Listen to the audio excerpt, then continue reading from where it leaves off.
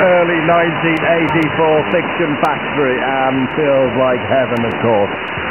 What a memory here on your Nostalgia Station WR International, right across Great Britain and Europe, of course, on shortwave at 12357 kilohertz worldwide via the internet with shoutcast.com. Of course, if you're listening, or if you're sitting, sorry, by a computer right now, and you're listening to WR International via the computer, you can always listen to us and watch us on ustream.tv. It's a letter U stream for one word. .tv. You search for WR International, there's a webcam there. Audio is also there if you'd like to go that far.